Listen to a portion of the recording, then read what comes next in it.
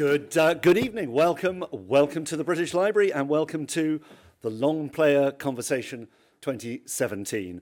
Um, my name is Roly Keating. I'm Chief Exec here at the BL. It's wonderful to see so many of you here. Um, I'm sure I know many of you are members. You've all got a sense of the collections of the British Library. But even those who know and love this place aren't always aware that we are also the home of the National Sound Archive. Um, some six and a half million recordings, growing all the time, of course, in almost every conceivable and imaginable format. And wonderful as this collection is, it is in fact at risk uh, because if you know anything about technology, technology fades, it fails, the carriers fade, the actual technologies so we are just at the beginning of one, for those of you who care about audio and sound, which of course is one of the great themes we're going to be touching this evening, um, we are just at the beginning of a campaign we call Save Our Sounds to digitize and preserve as much of the nation's sound heritage as we can before time takes its toll and this extraordinary legacy of recordings, whether it's music or conversation or accent or nature, uh, disappears um, from, uh, from the national heritage. And we have 10 partners across the UK, uh, wonderful generosity of the Heritage Lottery Fund to support that. Uh, and it's not just about preservation, it's about thinking about the future of how an institution like this collects and preserves new sound, the radio that's broadcast, the oral history uh, that is the true memory of a society, and of course, the future sounds of the natural world as well. So, as part of this, we are, uh, um, as ever at the British Library, creating a programme of events. Tonight's event is part of what we're calling our season of sound. Uh, six months of all sorts of things happening in and across and around the library, including, I hope some of you have been to visit Listen in the main hall, which is the wonderful free exhibition celebrating 140 years of recorded sound. Uh, and then when it came to think about talks and conversations, of course, we found ourselves naturally drawn to our friends at the Longplayer Trust uh, and you'll hear more about this in a moment, but those who look after and celebrate an extraordinary work of art which I first encountered when it began around the turn of this century, Longplayer uh, by Jem Finer. And uh, each year, Longplayer hosts a conversation. Just to say, because there'll be a proper introduction in a moment, uh, I'm particularly thrilled uh, that we are hosting tonight's incarnation of Longplayer's Conversation. Um, natural and environmental sounds are one of the great, great glories of the British Library's sound collection. Um, we've been collecting uh, this heritage for many, many decades and continue to do so. And there is no one better than Chris Watson to talk about that and explore the issues it raises uh, and the techniques used to capture the, um, the audio memory of the world beyond the human, uh, beyond the human on this planet. And then our other interlocutor tonight, uh, you will know from, from many, many uh, parts of his extraordinary career. But I just want to say that, of course, and, and I've known David off, on and off for many years, when we first launched and even conceived of launching our campaign to save our sounds, um, David Attenborough was, with typical generosity, one of the very, very first to step forward to help promote it. Uh, so we're extremely grateful both to David uh, and to Chris that they've come here tonight. But to introduce uh, the context and the background and our special guests, please can I hand to the chair of the Longplayer Trust, Gareth Evans. So welcome, Gareth.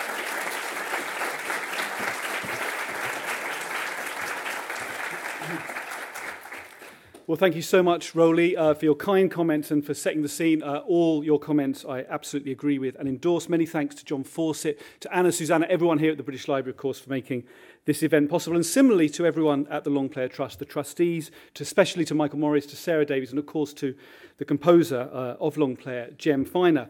Um, as Roly says, it's wonderful for the Longplayer Conversation 2017 to be here for a number of reasons, of course, not least because it's part of the season of sound and because the idea of the library itself uh, its relationship to time, to the preserving of the past, for its presentation in the present, for the future is absolutely in keeping with Long, Longplayer's own mission. It's about an archive of time, of course, and of world knowledge for the future and about its presentation. And I hope that Longplayer has all those elements uh, in the mix, which I'll come to shortly. It's also about precision, of course, and classification. Um, without proper classification, a library is nothing, of course. If you put a book back on the wrong shelf, it could be gone forever.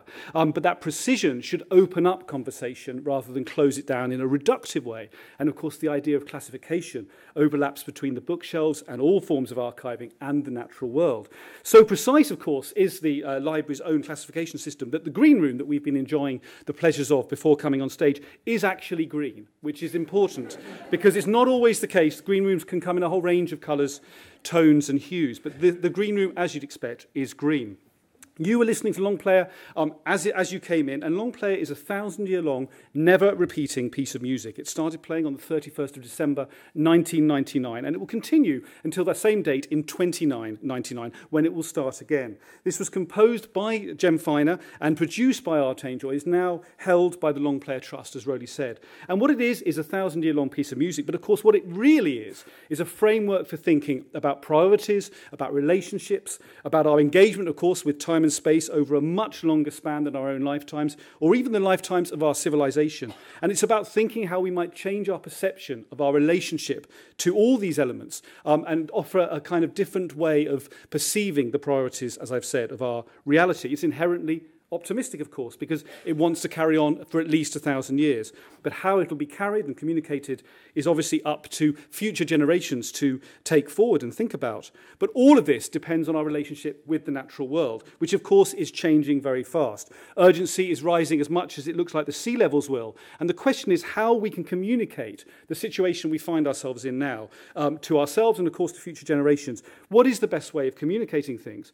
Often, threshold moments of perception happen around this idea of communication. We can think of the, ra- the radical shift in how we uh, perceive cetaceans, whales, um, with the discovery of the whale song and what it meant in the 70s. And this leads me to that, obviously, a well observed truism that about 100 years ago, uh, many people had horses, but of course, only the rich had cars. Now, 100 years later, many people have cars, but only the rich have horses. How the stables have turned. Now, that's a slightly uh, cringe inducing uh, comment. I'd like to thank my son Tom for uh, bringing that um, insight to my attention. But it does reflect how our, our relationship with the natural world is changing. And what kind of tools can we bring to this relationship in terms of advocacy for a better future? We bring, of course, sound and image, we bring voice and narrative. We can think about concern and anger, even, but we can also think about wonder, celebration, and joy. Seeing is not only seeing, if in the right hands, in the right eyes, it can be looking. Listening, of course, is not only hearing. Proper listening is a very different thing indeed. When life and work merge into the single space of experience, you know you're in for a different story and a different scale of encounter. And that's exactly what we have with our wonderful guests tonight, as Roly has suggested. Chris Watson started his musical and creative life with the influential band Cabaret Voltaire, and after moving uh, into television, he has become the world's leading sound recordist of wildlife and natural phenomena, as well as diverse human activity. He's an installation artist, a sound artist, he records for the label Touch. And of course, he is across our televisions and our radios with extraordinary encounters with sound. If it can be listened to uh, and heard, um, it, there's a fair chance that Chris has recorded it. I would like to say, of course, that he's also almost definitely recorded the sound of one hand clapping. Um, but I think when we, when we come on in a minute to welcome our guests, I'd like you to bring all your flesh based digital devices together, not just one, of course. Um, David Attenborough needs no introduction. He is a, a pioneering broadcaster, naturalist, filmmaker across the arts and humanities, the uh, pioneering controller of BBC Two, uh, the director of programmes for BBC One and Two, whose interest in the natural world goes back to the earliest years of his childhood. There are simply no better conversationalists to come and engage with this theme in the framework of long play in the British Library than the two you're about to give the warmest welcome to. Please do welcome Chris Watson and David Attenborough. Thank you.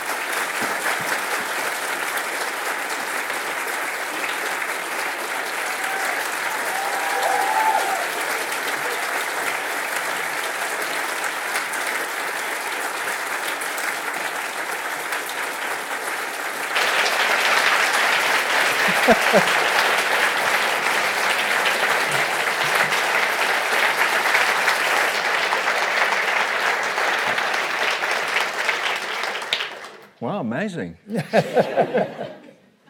it's so, I always enjoy our conversations uh, Yeah. over the years, but there are few places like this that we've had the chance to have a.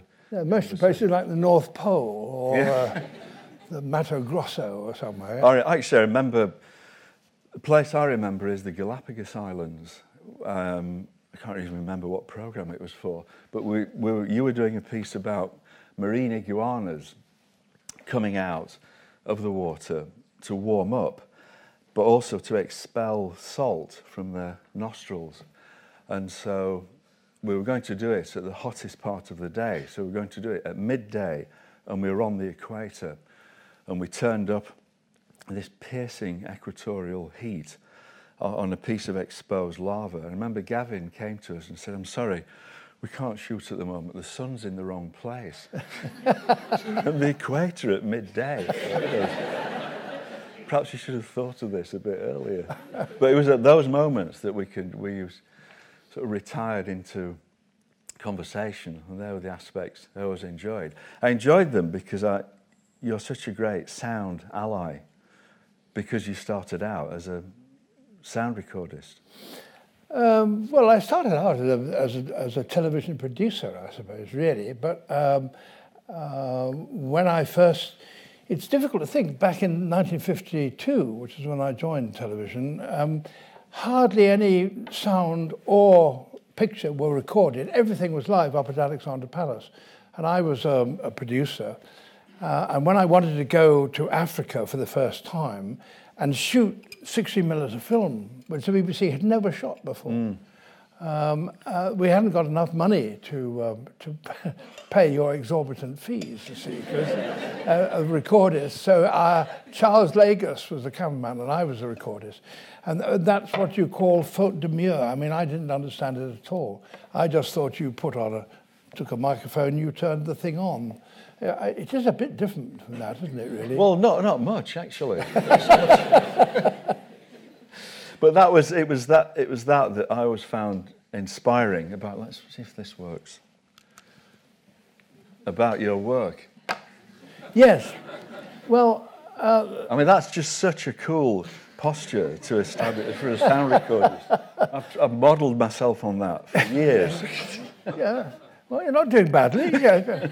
Yeah. But that thing that I was slinging around my neck uh, was a, the, the only portable recorder that there was in 1954. it ran on, on, I think it was 12 U2 batteries, yeah, batteries ab- about like sections of uh, broom handles. I mean, they were, and it was very heavy.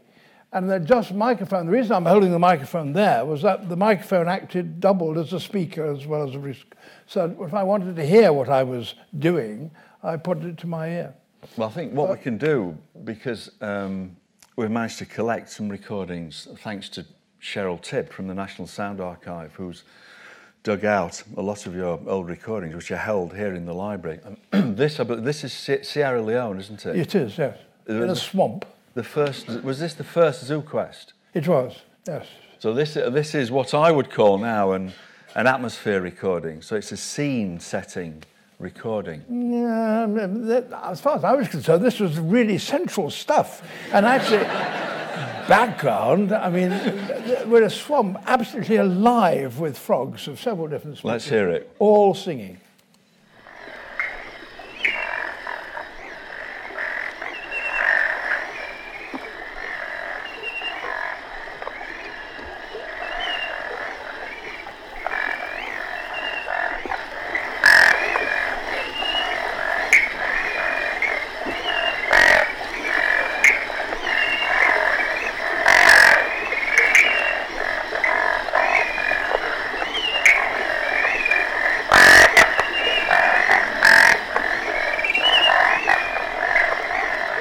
Do you reckon? Oh, it's, oh, it's really good. I mean, it's, it's 1954.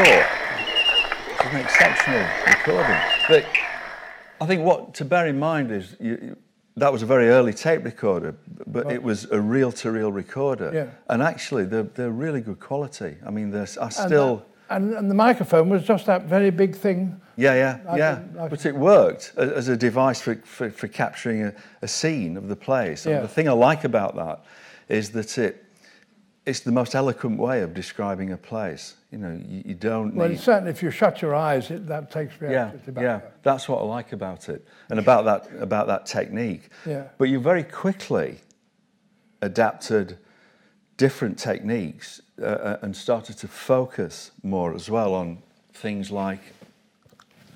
Oops, hang on. That. Well, that's still the L2 recorder down there. Yeah, so that's the reel-to-reel recorder. Yeah. But what I'm interested in is that parabolic reflector that you, you're using. This is is this Guyana? Yeah, no, yes, that's right. um, because that's something that was. I mean, I've got photographs of a, an American ornithologist, Miles North from Cornell University, Yeah. in the 1930s, 1932, using a parabolic reflector. There is no digital device that's been invented since then that improves upon the ability of a parabolic reflector to focus sound. It, it acts like, like, as it were, a searchlight in reverse. I mean, it focuses all the, all, uh, yes. there we are. And, and that's, that's rather better than that because that's made of aluminium yeah, the thing I like, yeah. So what, what what happens with this? This is a very special curve, parabolic curve, x equals y squared, and if you put a microphone at the focal point of that, any sound that hits the dish parallel to the axis, and that's the key. It's very has to be very accurately aimed. Parallel, any sound that hits the dish parallel to the axis will be reflected back to a common point called the focal point. So if you can contrive to put a microphone there and aim your dish accurately, it will pick up sounds with a 10 degree axis. It, it's still, it, I mean, it's tempting to talk of it as though it's a searchlight, but actually it doesn't bring you the sound as if you were close up, does it? Well, it, it, it, it, it amplifies. It doesn't have electronic amplification, so it's acoustic amplification. So it, it, it amplifies what you're pointing it at, but it doesn't amplify sounds to the side. There's a, good example because I've got a recording of, that Cheryl found of that very trip. These are howler monkeys. Which did you know what they were at the time? No, I, I heard this, I was sleeping in a hammock. I've never been to South America jungle before, and I heard this noise.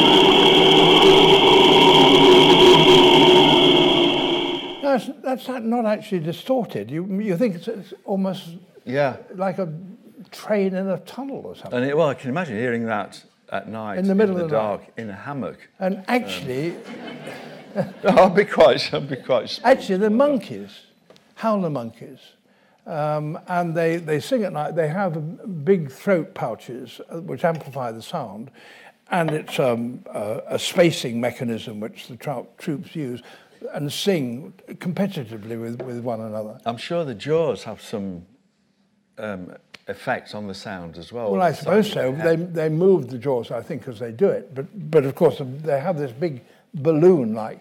Yes, yeah, yeah.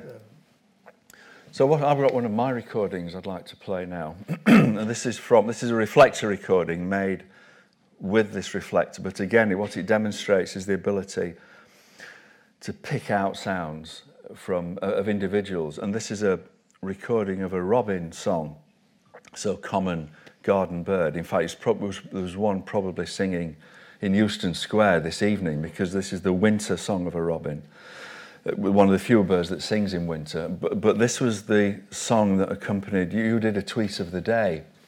I think was it last Christmas. It was, um, and this is the song that accompanied it. It's actually recorded in my suburban garden in Newcastle. But it it demonstrates again how the reflector works.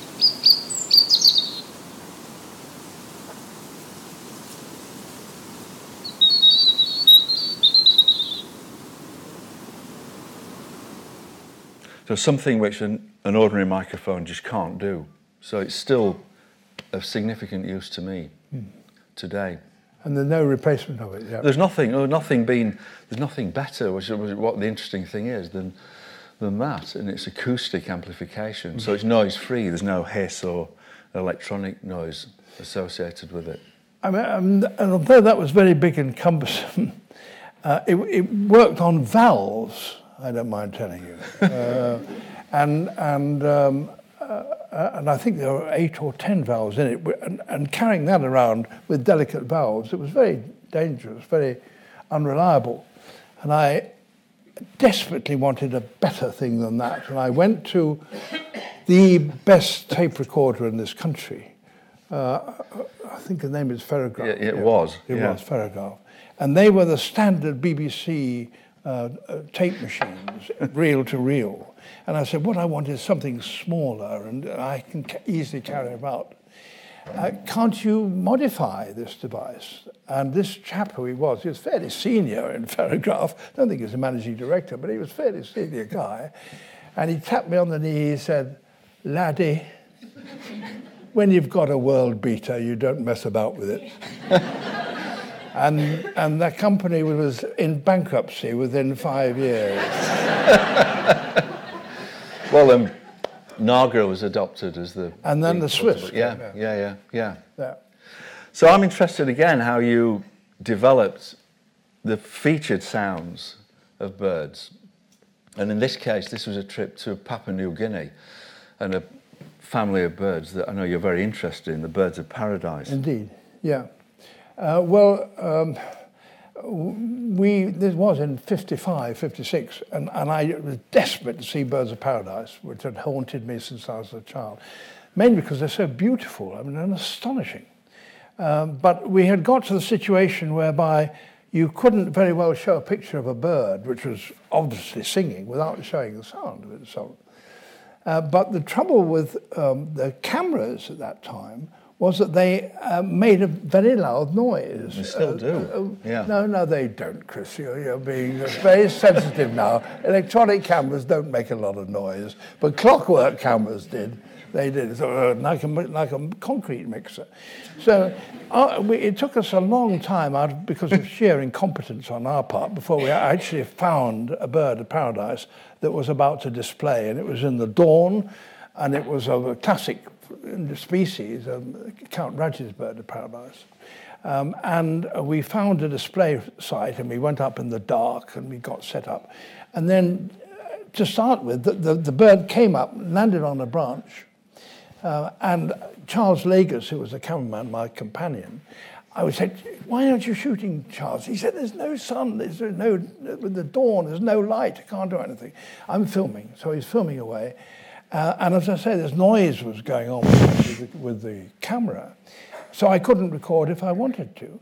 And I kept saying, Charles, that's enough, let me record. And Charles said, no, no, I've got a bit more, just I want to change lens, he changed the lens, let me play. So finally I, I shut up, let me, let me play something. And I p- turned on the recorder, and the bird went, wah, wah, wah, and then it went, wah, wah, and then it flew off.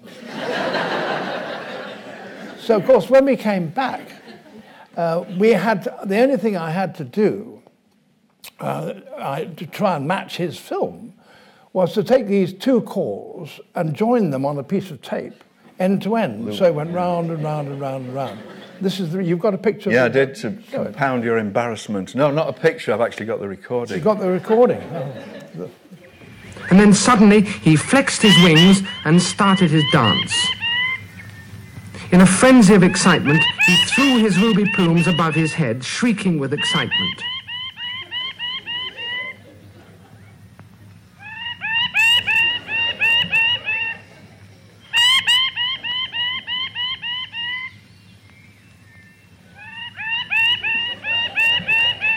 Well, when that went out, my old professor of zoology from Cambridge sent me such a nice letter. He said, Many congratulations. I've spent my life dreaming about what you've been dreaming about, about birds of paradise, because he was an ornithologist. Birds of paradise, I never thought I would see them. And then I saw it on television, and it was so exciting. You must say, wonderfully pleased. But there is an observation which apparently you haven't made anything of, and I ought to tell you about now. And that is, I watched that, and the sounds that you had of that bird singing, he sang in groups of nine and then in groups of seven. Never two nines together, never two sevens together. And I think you should write a learned paper about this uh, for the Ornithological Union. Now, I had to reply to him, you know, that unfortunately, this was just a piece of tape that was going around. So it had to be alternate. but there you are. But it, what it means is that actually, we find it now, even now, that, or no, perhaps 50 years ago, there was a sort of naivete amongst scientists about sound recordings and even about pictures. Yes. They, they didn't understand the technology and so are capable of making some really big howlers like that. I stopped him from producing that as learned paper anyway. But that conversely, it, filmmakers are informing the scientific community as well with, I mean, Blue Planet, for instance, too, you know, Oh, remarkable well, observations. Natural history, uh, we couldn't exist without, or we'd be mad to make a natural history film without getting involved with the scientific community.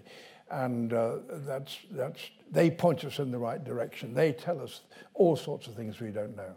Um, and of course, these days, sound, re- sound recording and picture recording are part of the tools of an observation Yes, yeah, natural yeah. history Yeah, scientist. yeah, yeah, But it that's what I wasn't then. When we started to work together, I think Life of Birds, probably in um, perhaps 1995, um, the techniques then I was using were what you've just been- describing now, microphones to record bird song, reflectors to record bird song. But then we started with Life in the Undergrowth.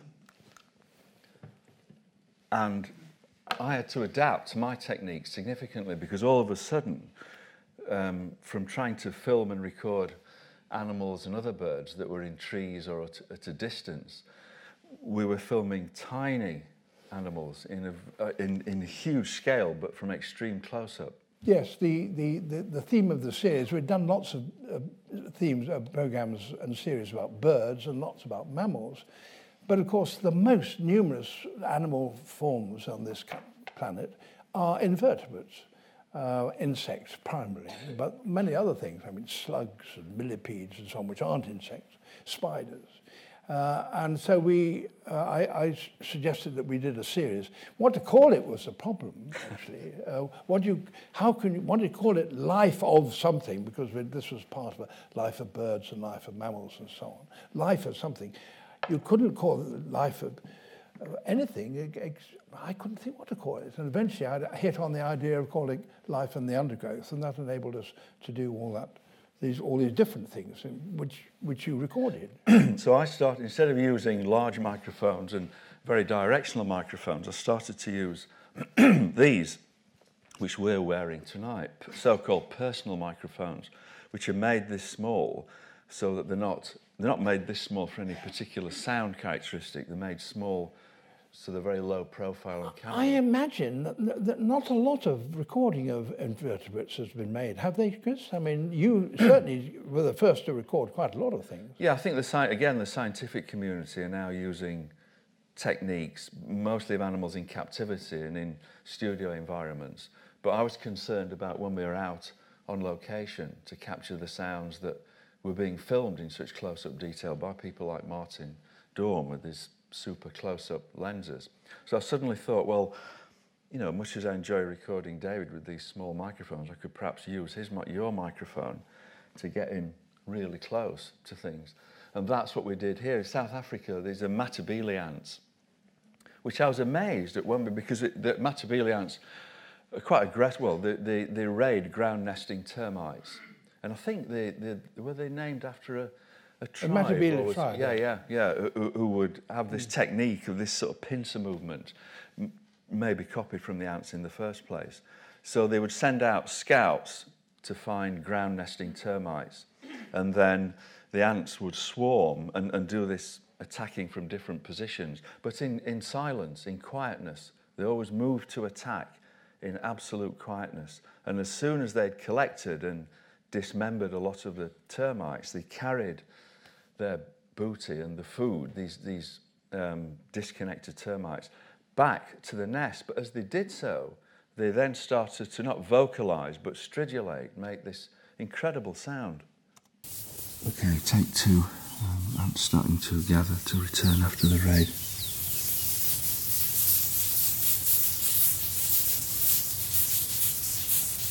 That's thousands of ants on, the, on this little microphone.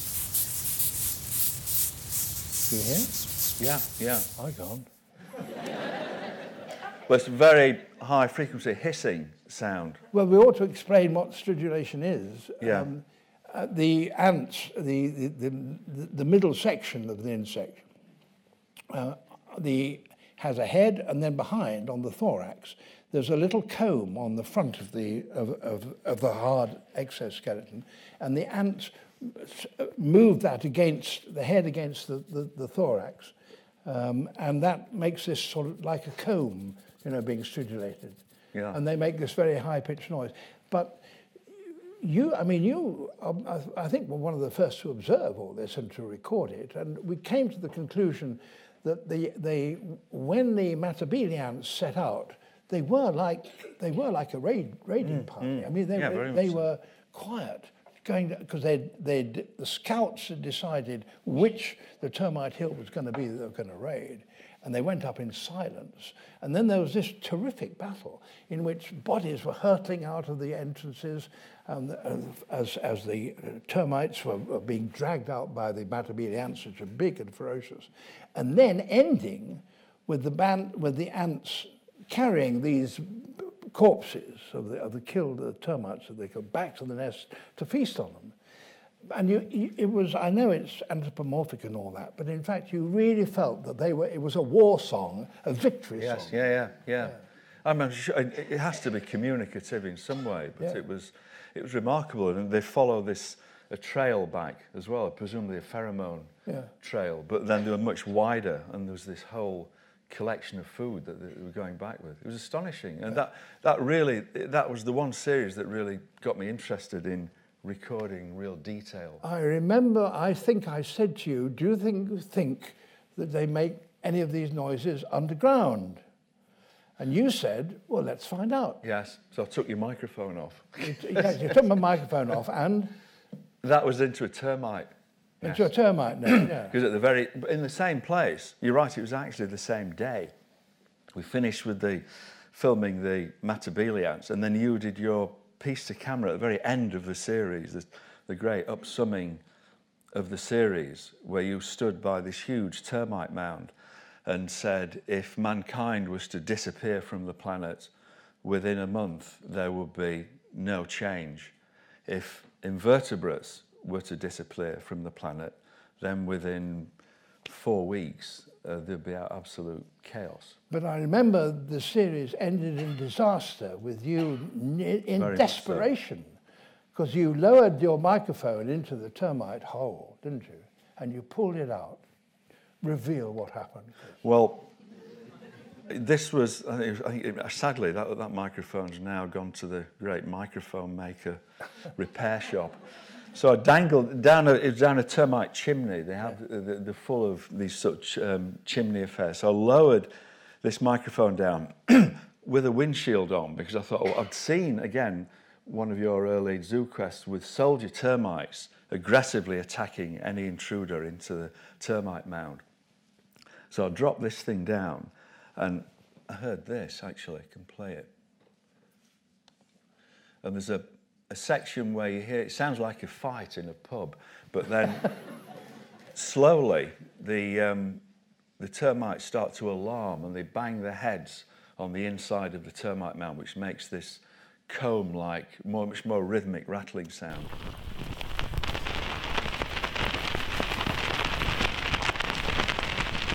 So they're the termites around the microphone, and then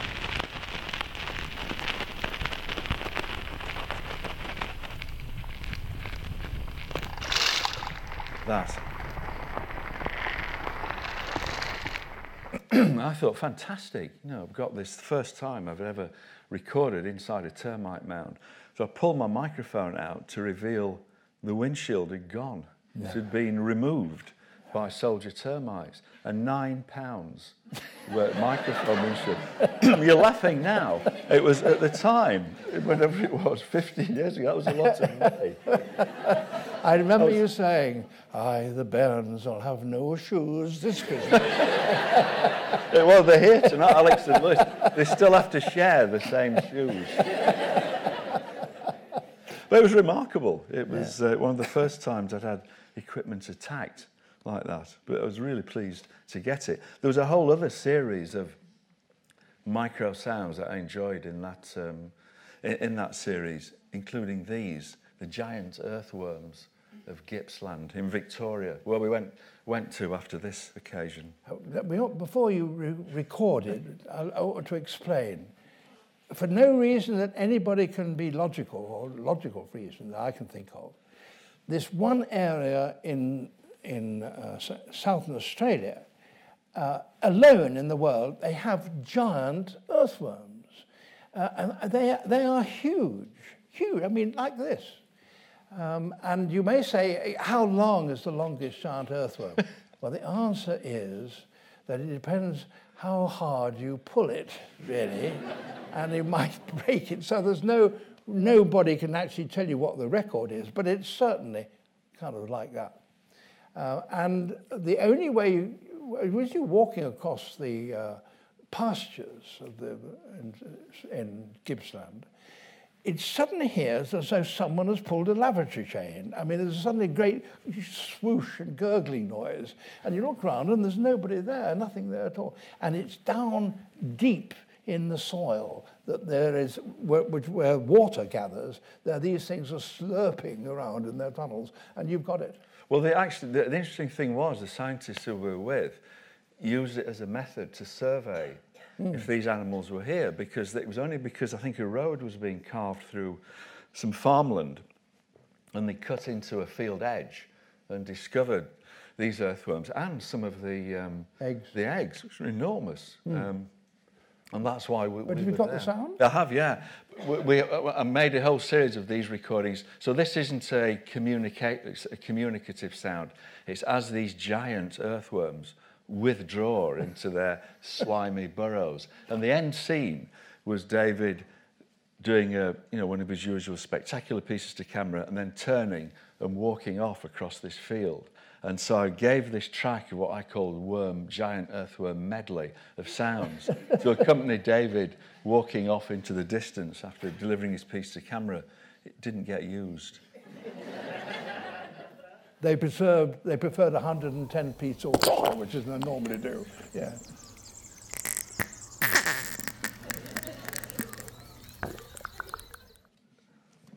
That's it. And you've got more than that. Well, do you think they want to hear it? All right. I might have got a few, a few more seconds. Oh, I have. Okay.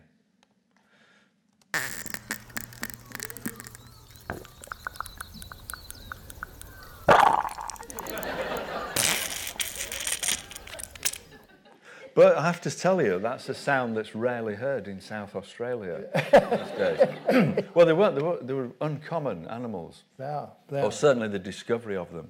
Yeah. Um, there's one more from that series I'd like to play, which had, for me, sort of serious significance, and again, a remarkable discovery, I think, for the scientific community, as well as myself when I got to record it, the caterpillar of a large blue butterfly. Um, do, you, do you want to explain it, or shall I? Yes. Oh, well, no, you go ahead. So, I mean, they're, they're found in this country, aren't they? It's a, Yes, they a, are. a British butterfly. And the caterpillars are collected from the woodland floor by wood ants and taken back to the ant's nest. And you would think that really is the end of the story for that particular caterpillar. So, taken into this, what you would assume is a very hostile environment. However, the caterpillar remains in there, and it was discovered by somebody from the Institute of Terrestrial Ecology that they stridulate, these caterpillars stridulate inside the ant's nest, and the sound that they produce causes the ants to feed this caterpillar, not to kill it and eat it. And this caterpillar does this. It has a little hard internal organ, which you can actually see because the caterpillars are translucent. And they vibrate this organ inside their bodies and produce this mechanical sound.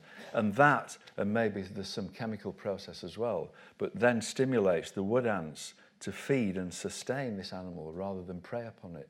I thought that was an astonishing story. And we went down, we were at um, Mike Salisbury's house for the, the start of, of Life in the Undergrowth. And it was on the, this sound, and this piece was on the six o'clock news as sort of an and finally. Because I remember I got a phone call before I, I went down in the afternoon, and I thought it was Gavin, uh, uh, somebody, the cameraman, playing a trick. He said, oh, hello, this is BBC News. I would like to use your caterpillar sound on the six o'clock news. but anyway, this is it. Um, I thought at the time, and this was recorded, it had to be recorded in captivity, temporary captivity. So this was in a radio studio in Bristol, recorded with a very special device, which sadly I didn't have, called a particle velocity microphone, which was loaned to me by the ITE.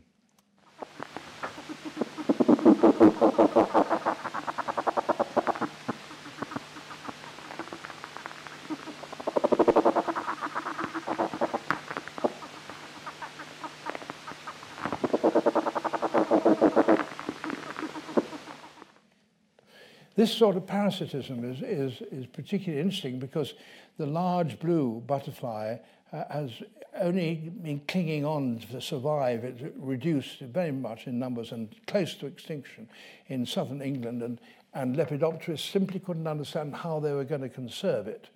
Um, and it wasn't until they discovered that this, this relationship between the ants and, and the way the caterpillars the, of the large blue persuaded the ants to take into their nest and feed it, that um, uh, uh, they were able to work out how to save the large blue because the ants will only live in a particular kind of turf with a particular kind of grass, and yes. that depended on sheep.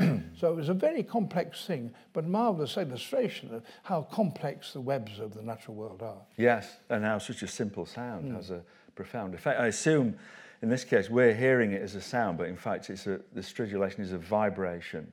So I can only imagine the ants detect the vib. They don't have ears; they, they feel the sound through their um, exoskeletons and, and maybe the, the feelers. But well, they, they still it still must be aware of sound. So although they don't have ears, they they can hear in that sense. Yes, they have. I suppose you're playing near, with words. Near field sound, so they're sensitive to vibrations within yeah. a few centimeters yes. around them. At this stage, David, I have to mention the M word, music. The what? Music. Music, yes. Um, there's a considerable, I know I find it hard in front of a, an audience to mention this. I'm not a great fan of music in natural history films. But, however, again, you were probably one of the first people to record what I thought was appropriate music to use in your programs because it was it was local music, it was music from the place and mm. of the place. And again, you've captured you know, a remarkable series of recordings, all of which are in the National Sound Archive. Um, when you were filming, you were also recording local music, um, indigenous music, tribal music, more generally called world music now. Uh, quite a remarkable collection. This is one of my favourites. I think this is from, may, if not all the Zoo Quest, but from the first Zoo Quest recorded in Sierra Leone. Mm, that's it.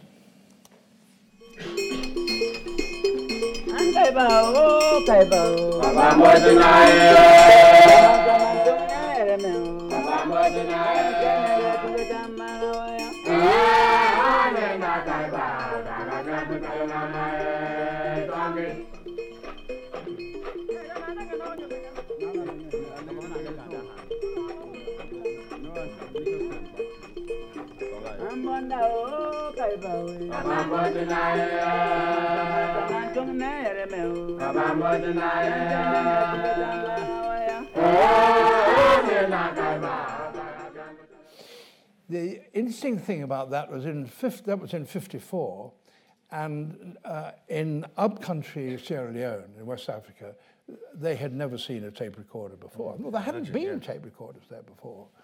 Um, and so uh, when I'd record something, uh, I would, would play it to, with a, through the, actually through the microphone, play it so people could listen.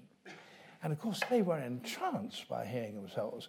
And the, the head drummer, who was the, running the uh, head musician, uh, was fairly put out that, uh, that, that uh, we were being regarded as being so clever and so successful. And he said, um, So I played something to him, and he listened to it, and he said, "Well, that was no good."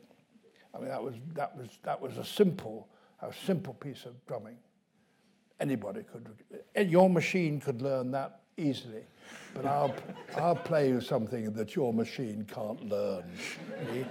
And then he he gave a dazzling display of drumming. I mean, really amazing, Steinbrenner, you see. And he said, Okay, you've tried that. You see, of course, when I rounded it back and played it here, he was absolutely. I've got an example that that um, I recorded when we had a trip. I think it was the life of mammals to Mali, to that Dogon village, Tireli. And again, you made a comment to me, and I'm, I do not even think it was to you made it to camera. We were filming women pounding millet with huge pestle and mortars.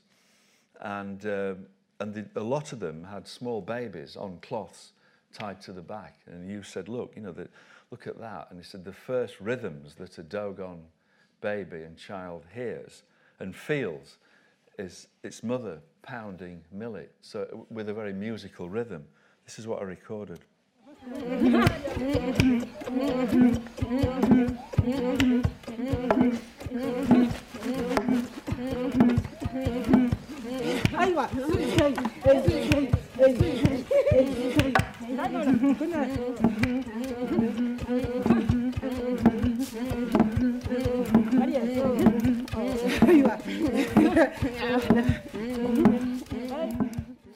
well, of course, there's a lot of um, a lot of research has been done recently.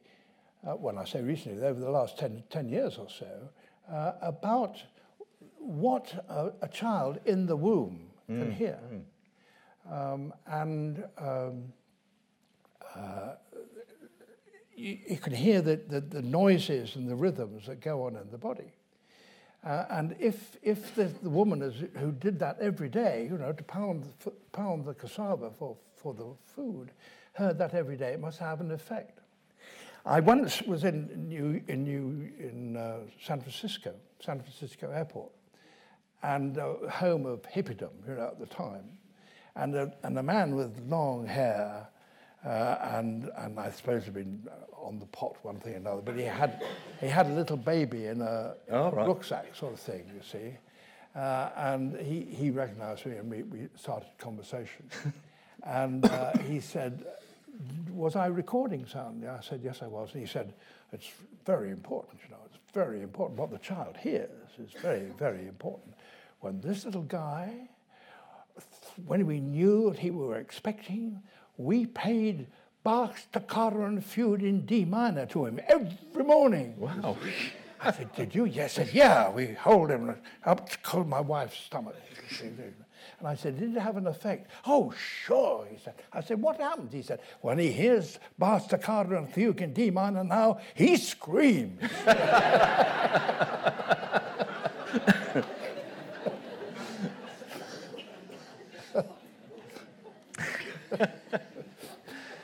here's, here's, I know this is very important to you, this style of music. This is gamelan. Yeah. And it's, it's really beautiful sound. And it's, this is a recording I mean, again, he must have made in the mid 1950s, but it's a sound that just rings so true today, and it's just really beautiful. It's an orchestra, gamelan orchestra, I would describe it as anyway, but it's um, just a remarkable series of rhythms and tones.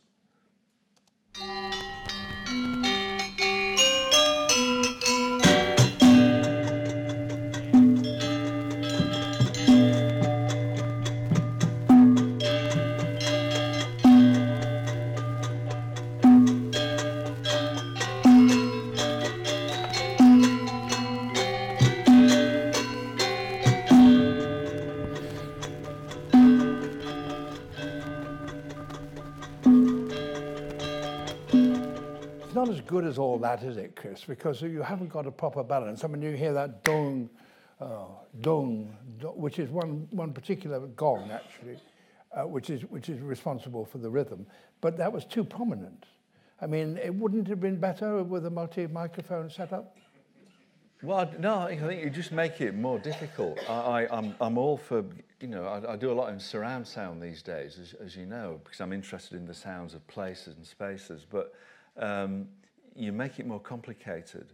Uh, and and you, you normally with things like that you don't get more than one chance, do you? You know. You No, well, the- I mean, I had no alternative because I just had one yeah, microphone. you had a pre- you had precious, privileged opportunities. That's one of the things I like about, you know, what you did when you were starting out recording and what I do. I like that sense of being able to, you know, not say right, let's stop, let's put set a multi microphone setup. And sure, you could maybe do better. And I'm sure now there are orchestral, you know, recordings made with, with lots of microphones that have more depth to them. But what I like about that is the immediacy of it and the fact you were there on location doing that. It wasn't contrived, you know, later in the studio. It's a live location, or it was a live location recording. And of course, the Gamelan Orchestra it's the, is the largest group uh, orchestral ensemble outside of Western Symphony Orchestra. I mean, it's a very interesting question as to why, in fact, there is only those two situations. I mean, no other uh, musical ensemble that I can think of anywhere in the world, a tribal one, is as complicated as a, a, a gamelan, which has as many as 30 or 40 or, uh, musicians, all playing uh, with the score out of memory, without a written score at all. And they're metallophones, like xylophones, and keys, and you, you play like that. And, and, and they, the, the complexity of those instruments is hmm. just remarkable because when you play it, it the, the key sounds doing and echoes like that. And, and then he has to damp it. Okay, So I've he, he's, he's playing a tune with, with one hand and playing one note behind with the other hand, dampening it. So the, comple- the virtuosity of those, those musicians is quite extraordinary. But also they have like these clockwork rhythms, very accurate as well. It sounds like a clock, almost like a metronome. Yeah, well, that's, that's that, that, that is one, one particular, um, um, uh, it's called a cheng cheng, uh, is, i- i- gong is used, uh, and he sets the rhythm and, and keeps the rhythm going. Yeah. And are they different village to village? Oh yes. Not only, not only are they, uh, the gamelan, uh, different from village to village, playing their own tunes, the, the master musician composes the, their traditional ones, but he also composes ones especially for the village, and they also have their own scales. There are two different scales in Bali. Um, and when the village as a group uh, decides they're going to commission a master bronzesmith to make a gamelan for them, 30 instruments, it's a very big financial ingestion. The master musician goes and the, they, the, the brass founder produces keys and says, this is the scale. And it, are the intervals what, as you would like it? And the master musician may say, well, that third note up, I think it would be quite exciting if you made that just a little sharper. And, and then the whole of the, uh, whole of the, uh, the, the gamelan is tuned to those things.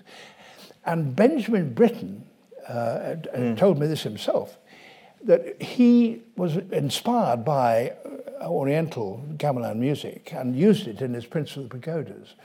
But when he was in Bali, the, the gamelan rehearses, every village has its own gamelan.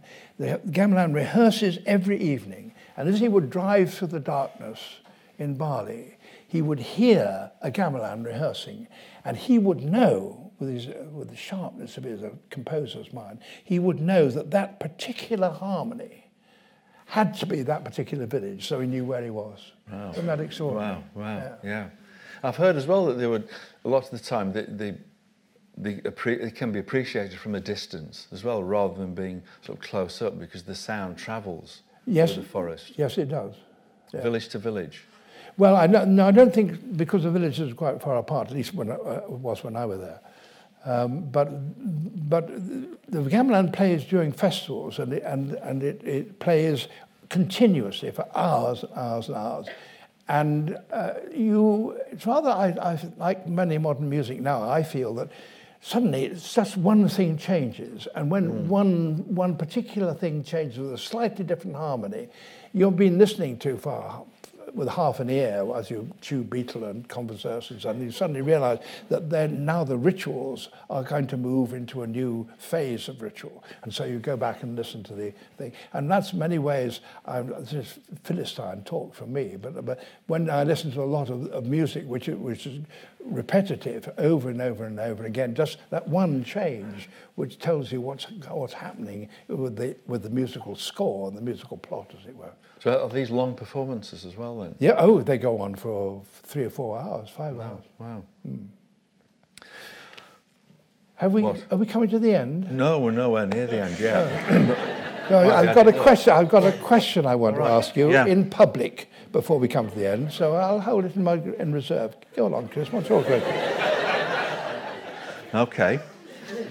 Right. Well, for a change then. Oh, it's supposed to. There we are. we should, because Longplayer trust is about time, and deep time in particular. And there are two things. This is sort of the final section, if you like. But there are two trips that we've had where I've thought uh, significantly about time and, and how it's affected me. And the most recent one was this when we went to Argentina about two years ago to go and look at this giant dinosaur, this sauropod, which had been discovered. I think it is the largest, isn't it?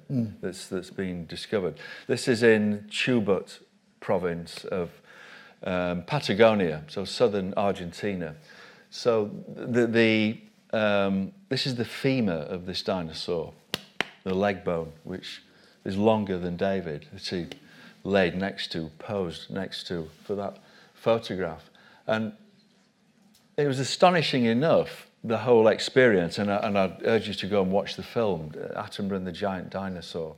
I think it's still uh, online. But then we went to this place,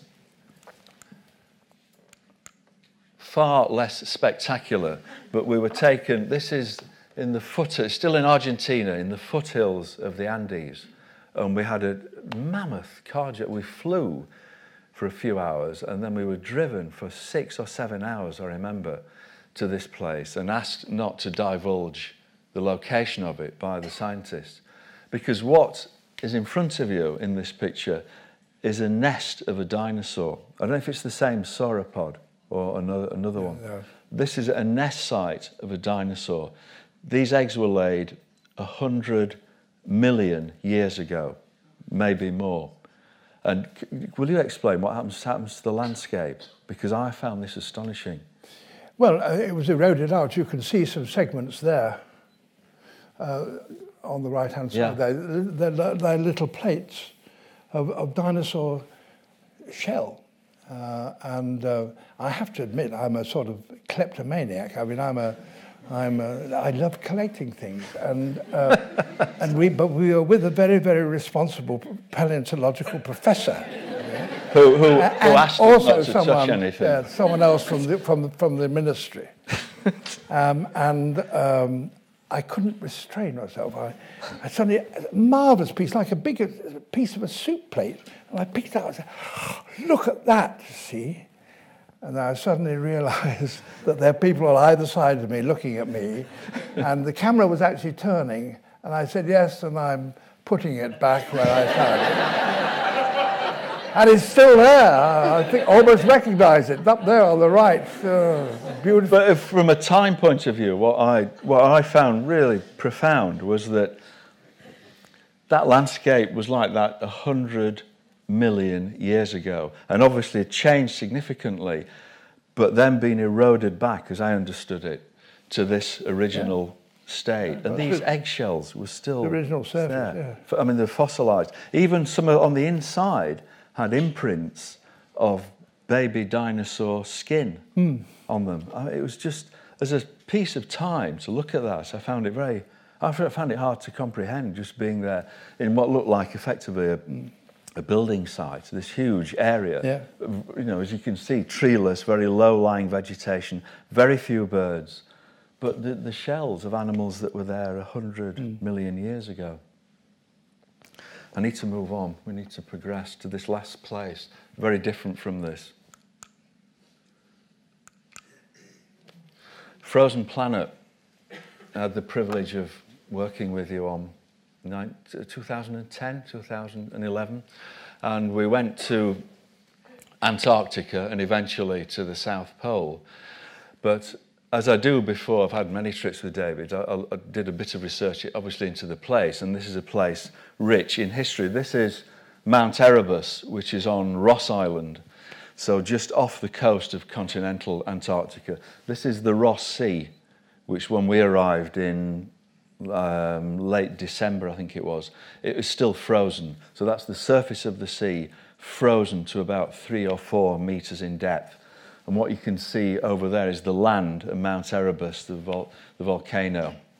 And we were staying at the American base, the McMurdo United States Science Foundation base. And just down the coast was Terra Nova, Captain Scott's hut, from which he embarked on his um, trip to the South Pole. A little further down the coast um, was Shackleton's hut, Nimrod, where Shackleton would have arrived to had he made his transantarctic journey successfully. And so we were in a place where when, when um, Scott went down, he took with him a photographer, Herbert Ponting, who made a film, I think it was for Gaumont Pictures, called The Great White Silence. And so I imagined that that would be the case, that, that in fact, not so much silence, because that doesn't really exist, uh, even in a vacuum, but a very quiet place. And, and indeed, that's, that's the case. When the wind doesn't blow, when it's not blowing 180 mile an hour winds, um, it, it's very quiet. There are a few birds there. There's an Adelie penguin colony, which we filmed David at, and there were a few Antarctic skuas the bizarre thing is there are no insects there. So when there are no birds, there is virtually no sound apart from the wind drawing over the ice. And we went to uh, this place on Ross Island, which is Terra Nova. This is the hut that Scott and his party walked out from in October, I think, 1910, and never came back to. So we had the real privilege of being invited in by uh, the New Zealand Science Foundation, who maintain the hut. David had been there 17 years previously, I remember. And I was, at this, this point, I was, I was there to record David's pieces and any other sounds. I've been recording the sounds of glaciers and ice, um, but I'd yet to get underwater because the austral summer hadn't really started to melt the ocean. But we went into this hut, which had this remarkable atmosphere and presence, but I also thought a very special acoustic. It, was really quiet, but very dry. And Antarctica is the driest continent. There's no humidity there, so things, that's one reason why things have been preserved so well. But we sat down in this hut, and you just told us this story. And I don't think it's ever been transmitted. I think it was something for the New Zealanders. But I found this really powerful piece of sound in a, in a place where there was, at the time, virtually no other sound. And I'll just spin through a couple of images of inside the hut as I played this piece, which thankfully you've, you let me play. I first uh, came to this site uh, 17 years ago, uh, and I was uh, one of the first here. Uh, indeed, I, I had the key to the lock, and I opened it, and I remember very vividly opening the door and coming into this place. And there was a smell of tar and rope and a kind of musty smell.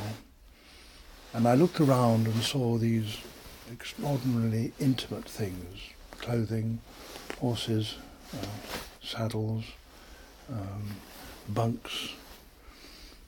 And I suddenly became aware of something around me that became quite oppressive. Um, it wasn't particularly aggressive, but certainly if I was ever to think about uh, feeling ghosts or personalities, uh, it would be here.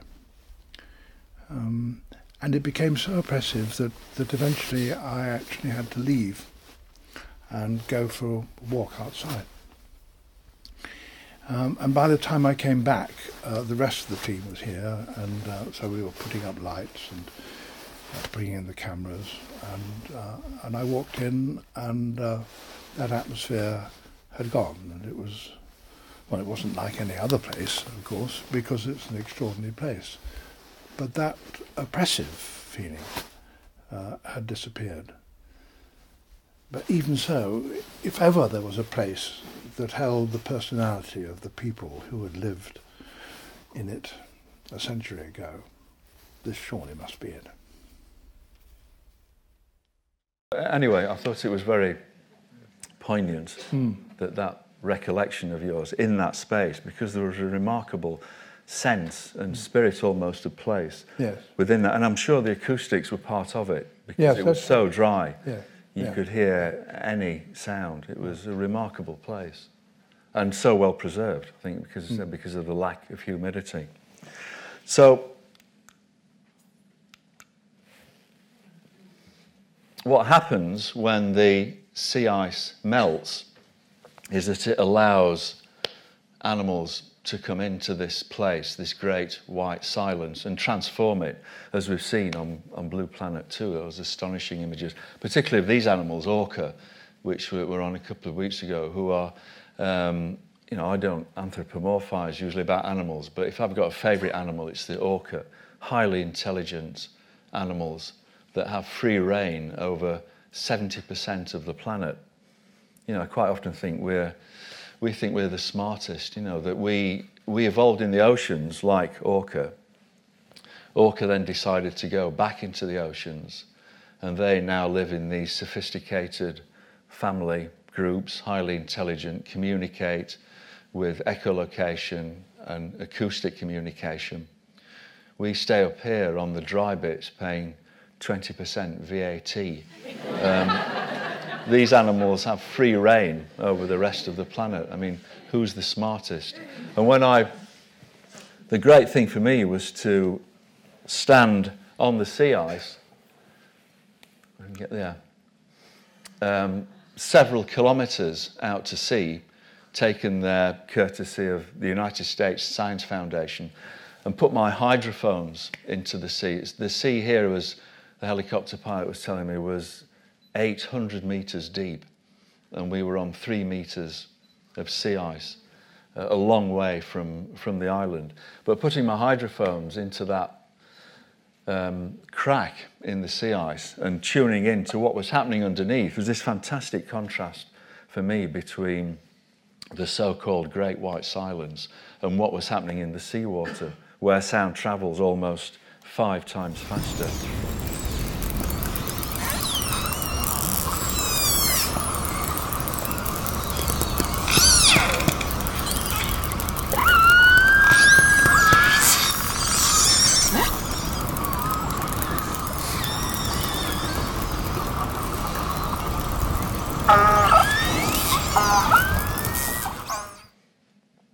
And then, in terms of time, we went here to the North Pole within a few months, maybe four months, and we were taken there from the Russian camp Barneo in, I think, what is the most dangerous trip we've ever undertaken um, in an ex Russian military Soviet helicopter, an Mi 8 from 89 degrees north to 90 degrees north, the last 60 nautical miles, in something that resembled a second hand washing machine shop with, with rotor blades.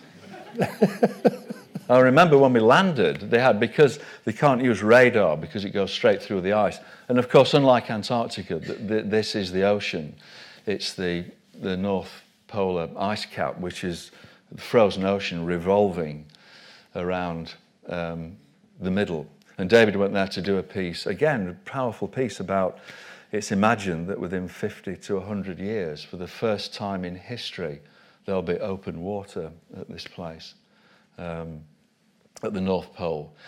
So we had to, we were taken there in this Russian helicopter, and I always remember the winchman, whoever he was, had a, an old tyre from the helicopter on a piece of rope There'd no other means of measuring the altitude when we were up there. And they threw this tyre out and, he watched it till it bounced. And then he shouted, it was smoking as well. He shouted instructions to the pilot. And we then got dropped at the North Pole. At which point the producer said the usual things to do. Right, David, Chris, and um, Alistair with, with, with us as well. He said, we need to get some shots of the, um, she, she said, we need to get some shots of the empty North Pole. So you'll just have to go and hide somewhere.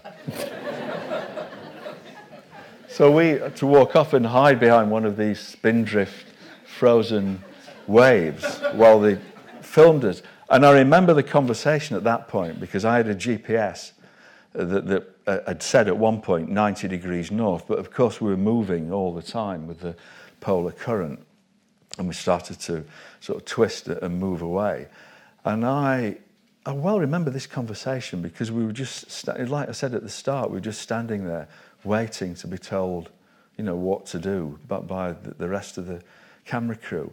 And you know, I said something like, "Look, if I look over there, it, it's to Los Angeles, and we know people in Los Angeles, and then I can do this and look down to where Maggie is, where she, my wife, where she is now, down somewhere in Europe, and I can do this and look over to Asia and Australia, where we've got friends, you know, all in different time zones. The place where we were standing, every time zone on the planet converged. So, what, what time was it? No, it was. it's a place where there's no time. I mean, it was, again, a powerful moment for me. There's one sunrise, isn't there? One sunset a year.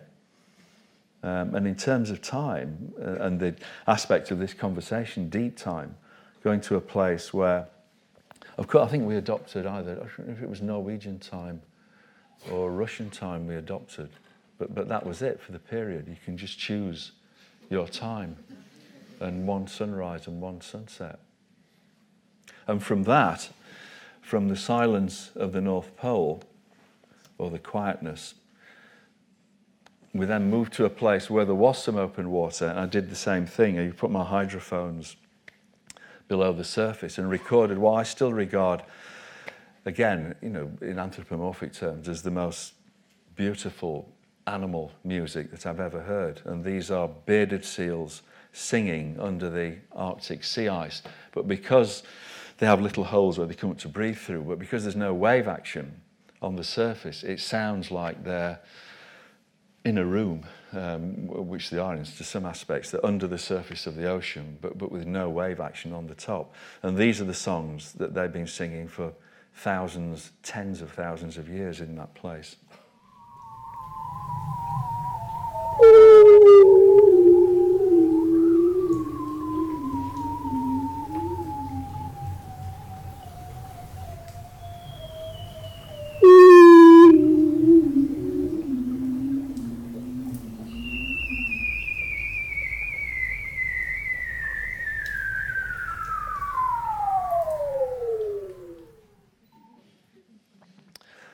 Been a pleasure talking to you. Thank you for listening. Before we go, before we go. no, no, no. I say we've got to go now. I'm going to put, I'm putting you on the spot. Chris, of course, uh, has a particular interest, and he thinks that all the rest of us team are uh, insensitive, really, to sound. I mean, we listen to it, but you don't understand it in the way that he understands it. And on one evening, as we were sitting there drinking beer and so on, he actually said to me, You don't listen to the sounds, you don't think about them. You know? If you thought more about them, you would actually understand more. Now, for example, he said, I can tell the difference between a recording of waves on the shore in the Atlantic and waves on the shore in the Pacific entirely by listening to the recordings. Now, Chris, are you going to sit there and say that's true? Of course I am, yeah. In fact, I, I remember I made a CD for you. go on, go on. well, it has a, the Pacific surf has this silky, sort of velvety, growling sound, whereas the Atlantic is much harder and, and sharper. I mean, I'm sure lots of people know. There you are.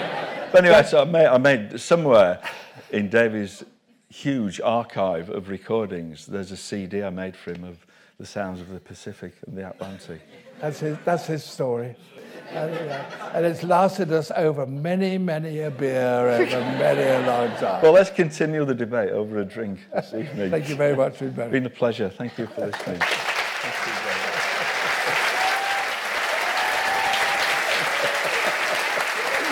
Brilliant.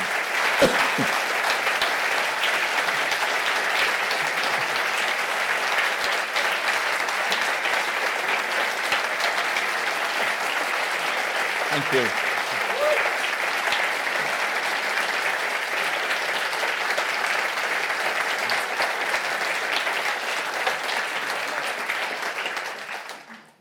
Thank you so much, Chris and David. An extraordinary journey through stories, memories, tales, sounds, images of a world that uh, we can only really appreciate because of such ventures and such uh, uh, activities as David and Chris have undertaken over many decades. A wonderful, beautifully shaped journey through the natural world that we all depend on, which we must defend, of course, with all the energies we have.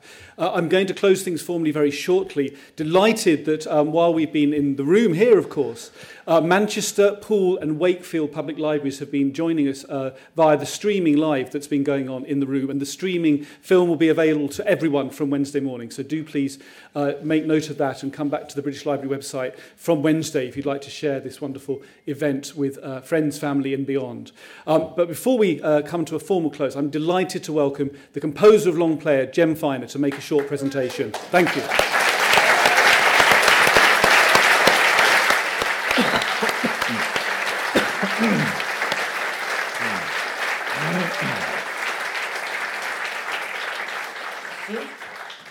Sorry, I wasn't quite ready because I thought there was going to be a Q&A. We, we couldn't top that wonderful presentation. No, we couldn't. Well, Jen. gentlemen, thank you very much um, on behalf of myself and everyone. It's amazing, inspiring, beautiful. And uh, shall I start again? okay. Thank you.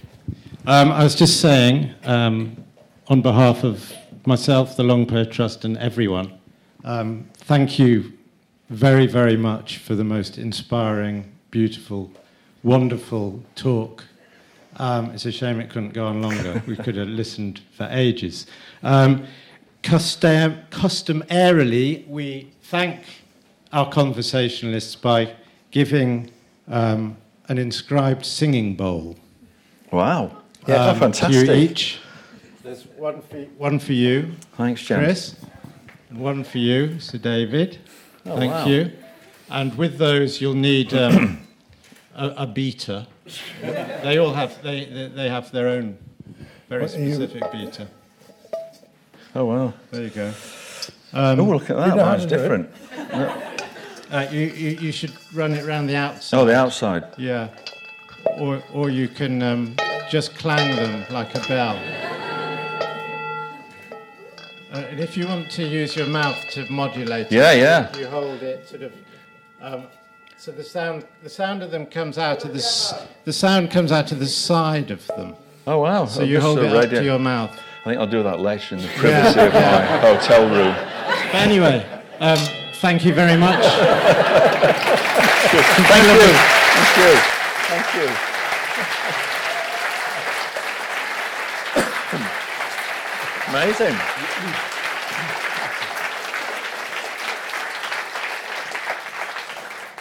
Thank, thank you so much, Jem. Sorry to put you on the spot there, but I think it was very, very hard to, to add anything to that wonderful presentation. We could all have listened, of course, for a, at least a thousand years. Sadly, we have considerably less time than that. Please do um, track down uh, uh, the Longplayer story, if you like, at longplayer.org, where you can uh, listen online, you can listen on an app, you can go to Trinity Buoy Wharf in London Docklands and listen to it live. You can listen to previous conversations, read about previous events and so on at longplayer.org. The cards on your seats will enable you, if you would like to, to con- continue supporting Longplayer uh, actively, as you must also do, of course, with the British Library, with Save Our Sounds particularly, but with the whole British Library project. Please do sign up, join, become a member of the library, and preserve the extraordinary repository of world knowledge here for future generations, as this whole evening, of course, has been uh, about.